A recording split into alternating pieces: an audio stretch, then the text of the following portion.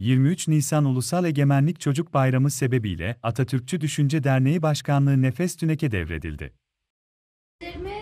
Bize bu bayramı armağan eden başkomutanımız, baş öğretmenimiz, en büyük Türk Atatürk'ü saygıyla anarak başlıyorum. Aziz ruhu şad olsun.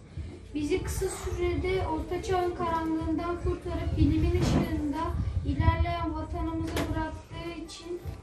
vatanımızı bıraktığı için çok minnettarız. Yarının büyükleri olarak bizler açtığın yolda gösterdiğin hedeflere durmadan yürüyeceğimize ant içeriz. Varlığımız Türk varlığına armağan olsun.